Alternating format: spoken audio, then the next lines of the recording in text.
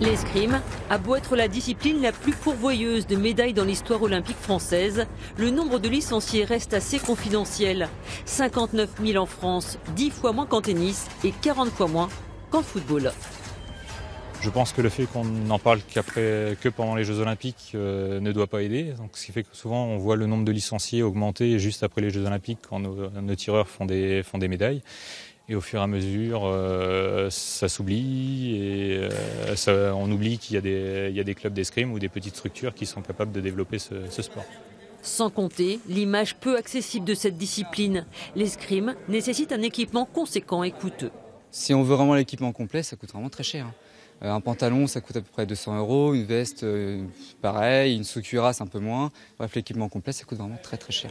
Reste que dans les premiers temps, c'est le club qui peut prêter une partie de l'équipement. Par ailleurs, l'escrime gagne à être connu. C'est un sport complet qui allie tactique et effort physique. Vous allez avoir aussi euh, tout un travail euh, technique, une rigueur par rapport à soi-même. Donc on va retrouver, malgré que ça soit un sport individuel, des valeurs euh, collectives, de sociales, plus des, un apport euh, personnel de bien-être et euh, de confiance en soi aussi. Cet après-midi, les plus jeunes testaient les assauts de compétition, une expérience enrichissante. Moi, je me fais éliminer dès le premier tableau à chaque fois. Et, euh, et puis, bah, ça m'embête pas. Enfin, justement, je suis contente d'avoir participé et d'avoir joué.